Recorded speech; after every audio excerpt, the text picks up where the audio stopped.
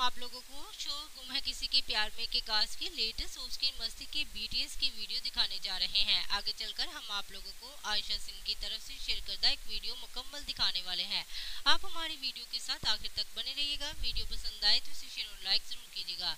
जैसा कि आप लोग देख सकते हैं, व्यान वर्मा गोवा में मौसम को एंजॉय करते हुए दिख रहे हैं, जिसकी आईडी स्टोरी मीडिया अकाउंट पर पोस्ट की है। मिताली नाग ने शो गुम किसी के प्यार में के सेट से ये बीटीएस की वीडियो पोस्ट की है, जिसमें आप लोग इन्हें सेट पर अपना काम करते हुए रिहर्सल करते हुए देख सकते हैं। मिताली नाग ने अपने सोशल मीडिया अकाउंट पर यह वीडियो पोस्ट की, जिसमें आयशा सिंह भी साफ़ दिखाई दे रही है। आयशा सिंह के इस वीडियो को देखते हुए फ़ैन तरह तरह के कमेंट करते हुए नज़र आ रहे हैं।